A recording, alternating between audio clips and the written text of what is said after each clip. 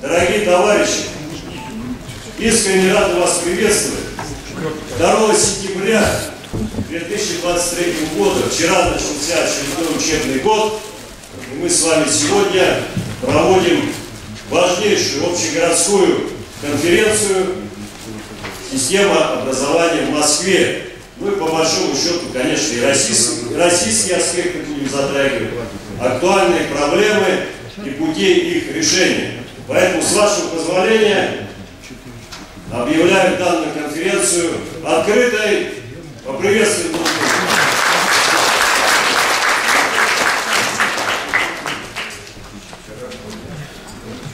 Как вы знаете, как вы знаете, я думаю, никто со мной спорить не будет, для нас образование, особенно сегодня, в тот момент, когда Россия оказалась в сложнейшей ситуации, нам брошен колоссальный вызов. Колоссальный вызов извне. У нас масса внутренних проблем.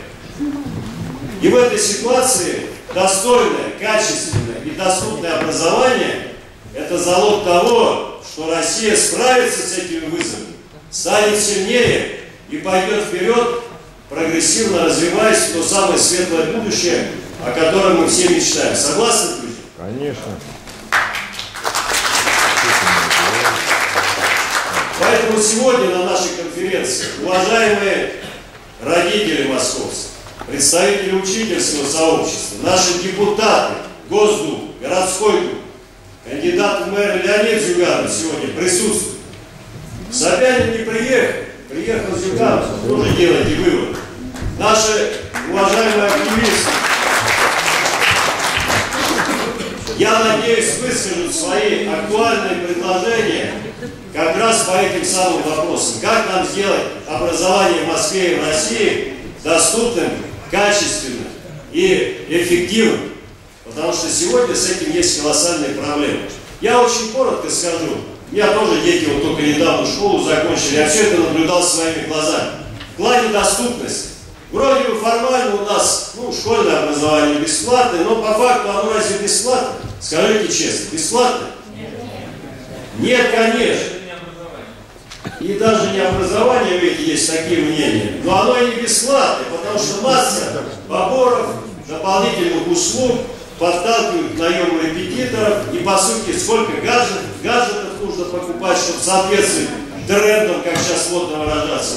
И в итоге для родителей это все выливается в копеечки. А предложение фракции КПРФ, например, Государственной Думе, да и в региональных парламентах, сделать ежегодные выплаты для семей с детьми, чтобы 1 сентября они могли подготовиться, до сих пор и федеральные, и региональные власти игнорируют. Экономят на самом важном. Вот уже вопиющий пример того, что у нас происходит. А по поводу качества, друзья, ну о чем можно говорить, если наши педагоги, наши учителя, они перегружены, они как белка в колесе крутятся под этими нагрузками, чтобы получать нормальную зарплату. Ведь у нас, как сегодня докладывает Путин и все остальные, у учителей высочайшие зарплаты в Москве. Разве это так? Да, у руководящего состава, у директоров, если все это посчитать, средние температуры по больнице, да, там можно нарисовать красивые цифры. А молодые учителя, например, да они вынуждены такие брать нагрузки, дополнительные всякие вести занятия. И еще куча, ворот целых бумаг, этой бюрократии. Да мне их искренне жаль. За такую работу, я считаю, не менее, самый минимум в Москве должен, должна быть зарплата минимум 150 тысяч. Минимум, правильно? Мало, мало.